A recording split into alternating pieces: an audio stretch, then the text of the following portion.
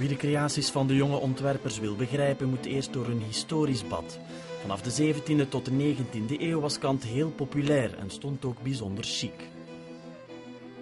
Kant werd heel erg gebruikt bij de kleding en naar gelang de mode als uh, accent en mooie kragen en om speciale volumes uh, op de kleding te creëren. De pas afgestudeerde ontwerpster Merel Boers werkt met garen om een blouse te maken. Zoals de klassieke kant wil zij het spel tussen licht en donker accentueren, maar haar techniek is nieuw. Van het klassieke kantklossen is geen sprake.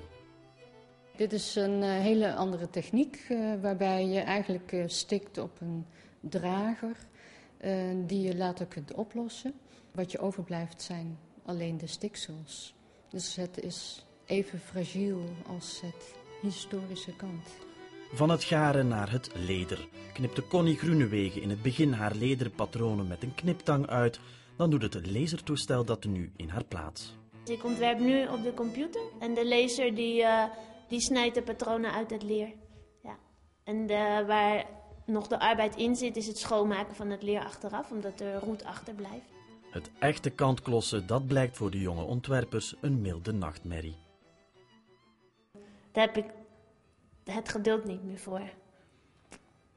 Nee. Maar ik heb er wel heel veel respect voor. Andere kunstenaars maken sierstukken uit bijvoorbeeld verzilverd aluminium. En dit fraaie kantpatroon bereikt de Argentijnse kunstenaar Pablo Reynoso verrassend door een stel tonnesstoelen aan elkaar te knopen. Kantlijnen op acht locaties in Brugge tot 1 maart.